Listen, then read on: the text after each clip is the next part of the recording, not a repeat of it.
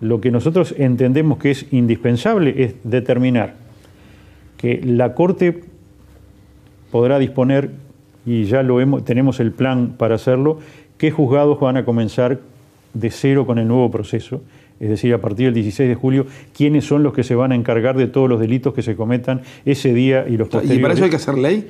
Para eso hay que hacer ley porque también tenemos que determinar cuáles son los juzgados que se van a quedar exclusivamente con las causas viejas. para, que la gente entienda, eh, eh, el código va a aplicarse a las causas nuevas, las causas que ya estén por el anterior código van a seguir sobre ese código. Exacto. Ahora, eso no sería problema, porque eso digo, más allá de si es una ley, es una ley sencilla. Lo que sí, porque lo que establece la ley es que el código entra en vigencia ese día.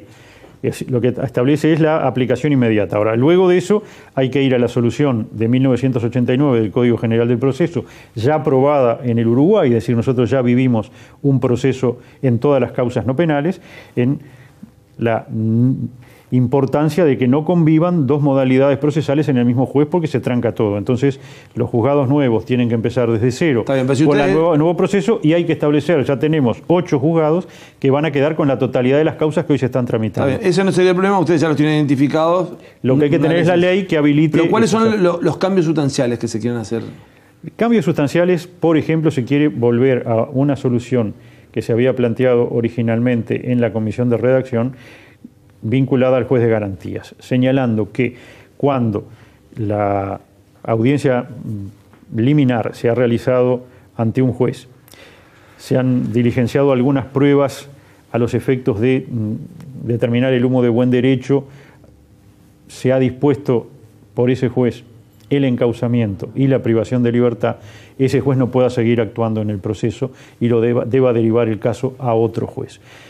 Por eso se llama juez de garantía, porque lo, único que hace es determinar liminarmente si corresponde el, encausamiento y en su caso si hay que privar de libertad o no a esa persona cuyo encausamiento se decidió. Pero no puede seguir con el caso. ¿Qué determina eso? Que en muchos lugares hay que tener un juez adicional, porque bueno, ¿y a quién se lo va a enviar? Entonces, eso llevaría a mm, tener que disponer algunos, algunos jueces adicionales a los que tenemos. Nosotros no tenemos los cargos, no tenemos los fondos habilitados para los cargos, no hay instancia presupuestal para hacer modificaciones en el rubro mm, cero del Poder Judicial, entonces entendemos que no es viable hacer, aunque filosóficamente se pudiera compartir, no es viable hacer algunas modificaciones tan sobre la fecha de inicio del código.